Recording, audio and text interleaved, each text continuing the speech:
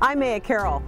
And I'm Steve McShane from McShane's Nursery. Coming up in our next half hour, we'll begin in the garden. We'll have tips for a successful garden. Soil basics, tips from top gardeners, and how to cook up some of that garden's bounty. All coming up next.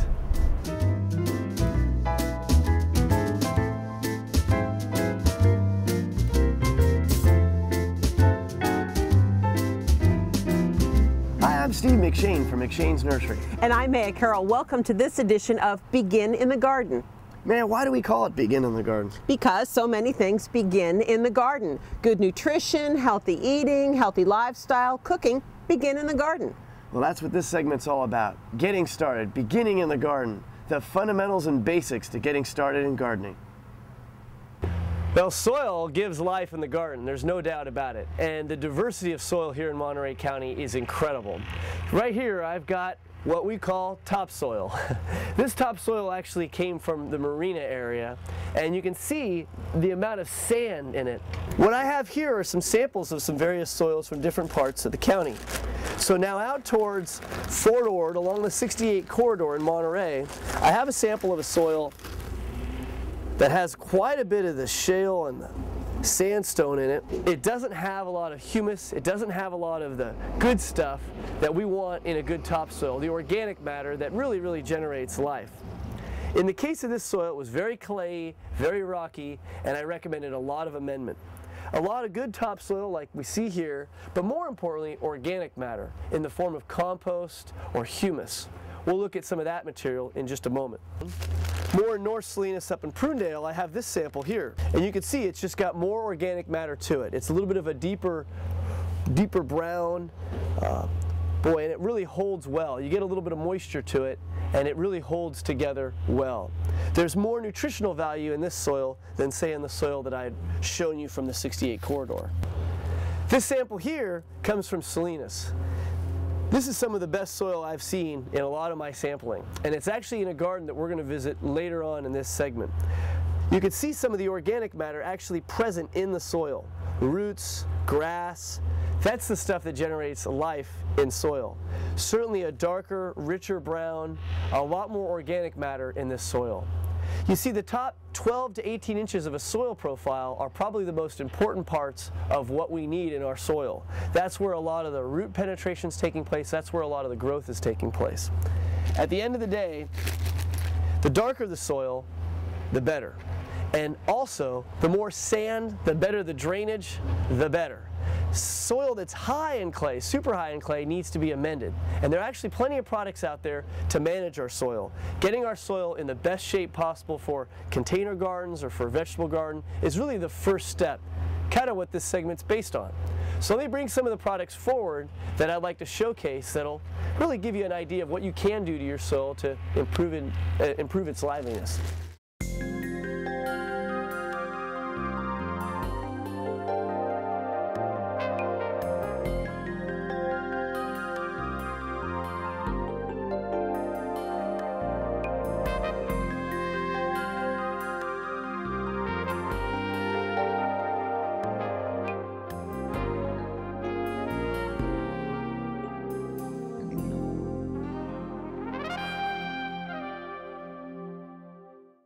Now that Steve has given us some soil basics, it's time to size up your soil.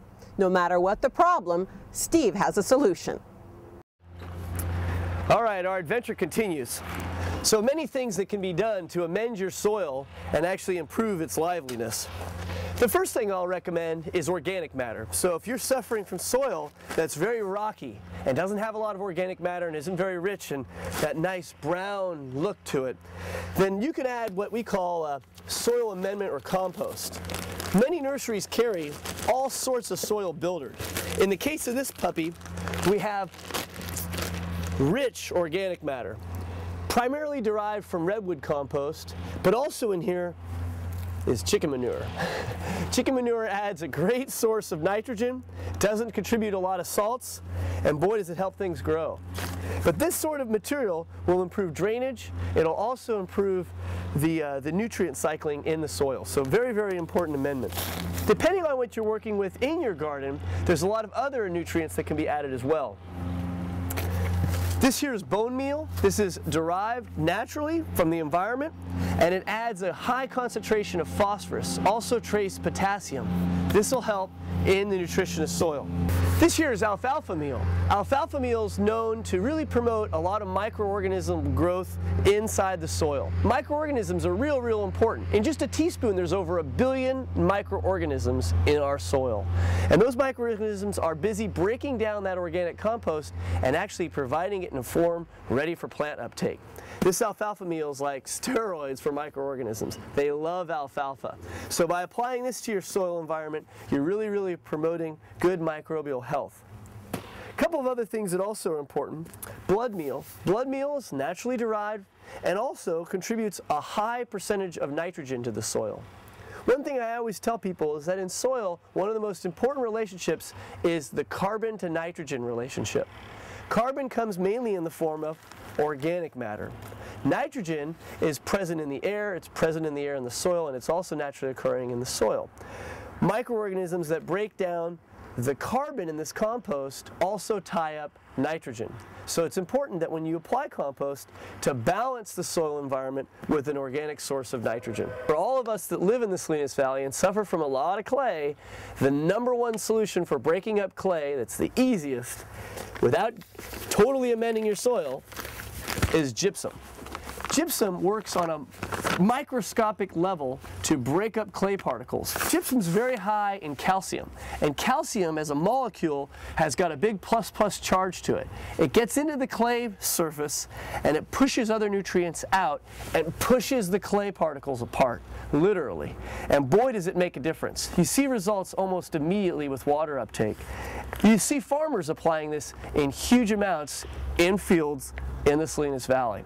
So gypsum is a great amendment, it's cost effective, and almost immediately it makes nutrients available and it breaks up your clay. The last product that I'll mention in the nutrients is actually seaweed extract. This actually comes from kelp meal. And I'll tell you, it's more and more proven by the University of California that seaweed, and in particular kelp, like alfalfa, contributes to microorganism growth. Boy, does it really help in root penetration, nutrient availability, and just the overall health of your soil. All these sort of products are natural in how they come about and naturally applied, and they really, really do a lot for building your soil.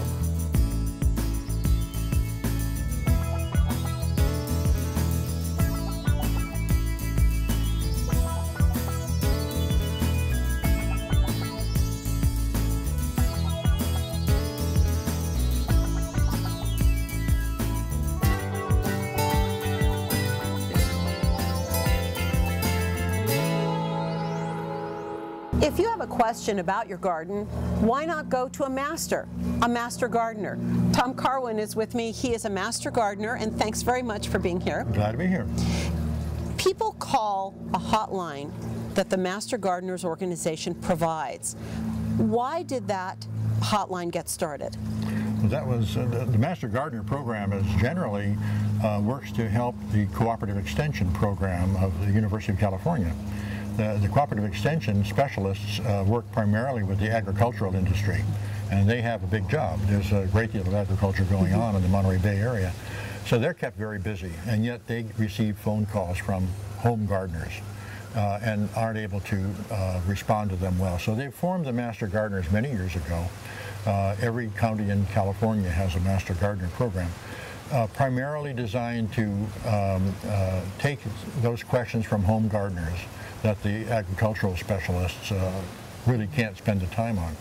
So the Master Gardeners are a volunteer group trained by the University of California uh, to um, uh, respond to questions that home gardeners have.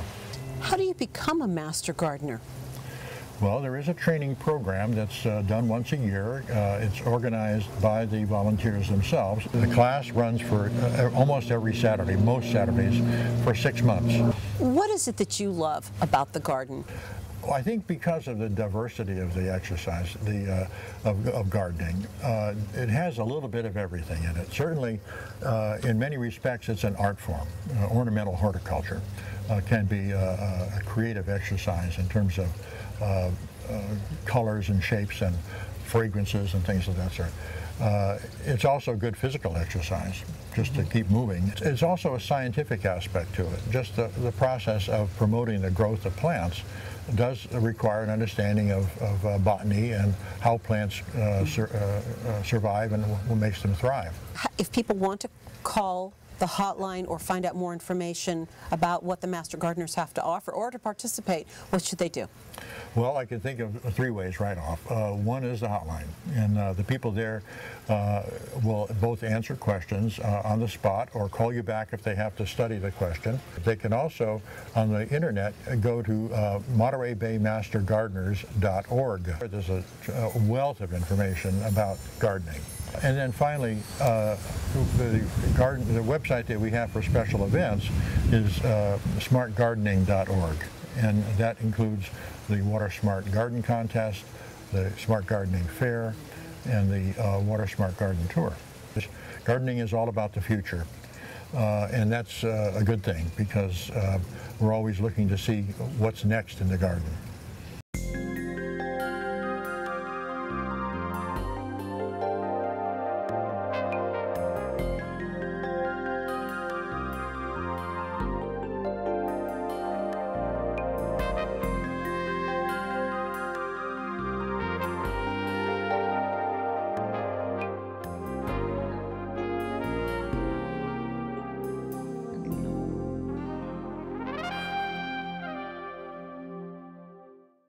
Why not use your garden to entertain? In our Garden to Grill segment, Chef Todd will cook up some tasty treats, the ingredients you can grab from your own garden. Hi, I'm Chef Todd, and we're taking you from the garden to the grill. And today we're preparing some grilled vegetable tostadas on a grilled flour tortilla. We finished with a little crumbled cotija cheese.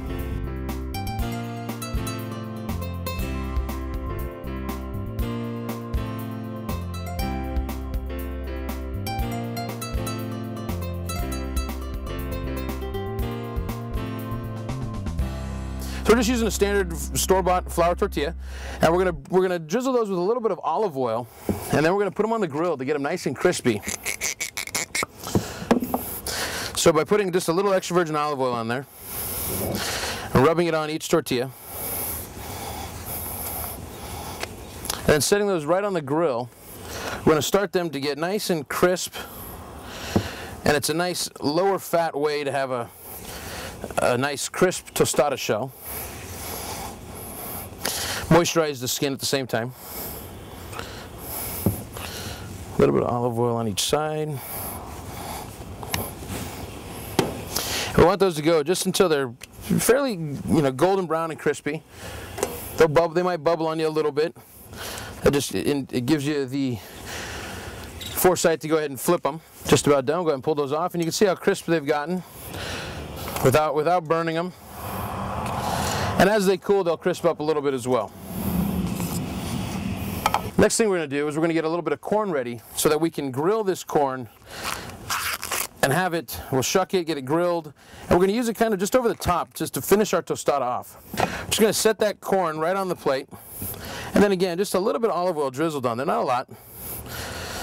And then we'll just kind of roll that around, get that well coated.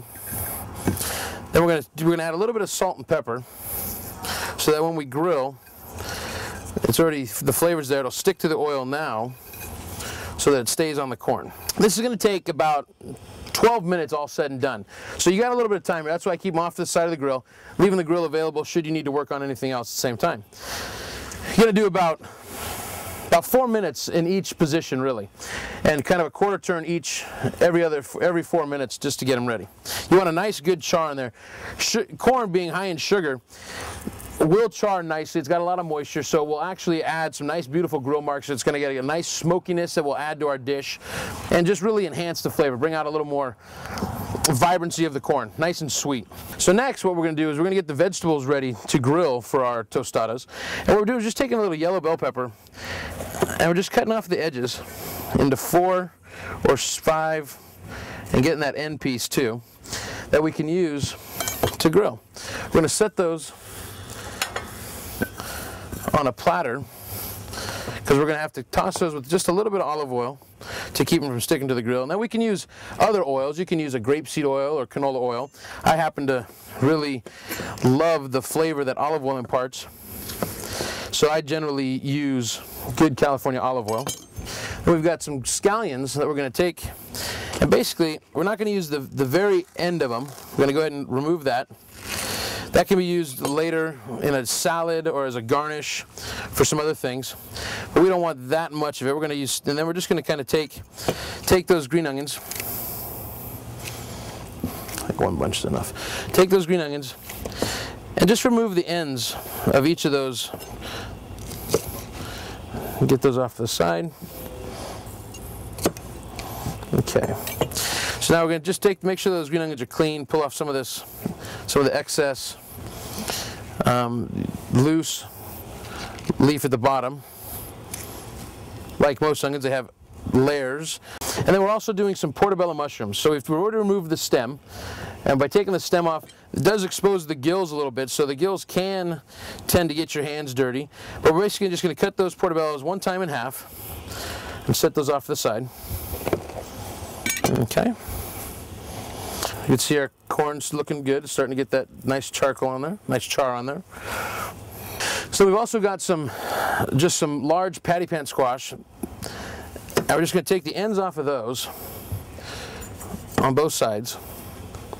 And then we're just going to cut those into three or four nice big slices. And those two we can be, can be set aside and ready to be drizzled with a little olive oil to grill for our tostada. And you want those vegetables somewhat well coated with the oil so they don't stick to the grill. But if your grill is nice and clean and it can be brushed with a little oil as well, you shouldn't have a problem with the vegetables sticking. So again, same with the scallions, same with the peppers. Just working them around, getting them well coated.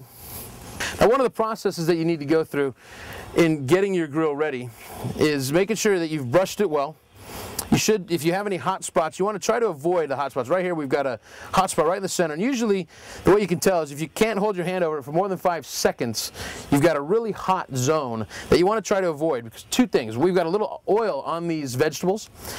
And if we go to drop them on the grill and there's a little bit of excess oil that falls off, it's going to flare up on us. It's going to cause a lot of burning of the oil, a lot of carcinogens to, to kind of saturate into the food. So I want to try and avoid that. We have this hot spot right in the center. We might be able to turn it down a little bit, but we're just going to try to avoid that. We're going to work the edge of the grill primarily. Give our corn just one more little turn to keep that charring.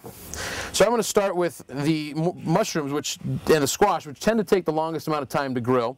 So we're just going to take those mushrooms and set them right on the back side of the grill. And I like to do the gill side down first.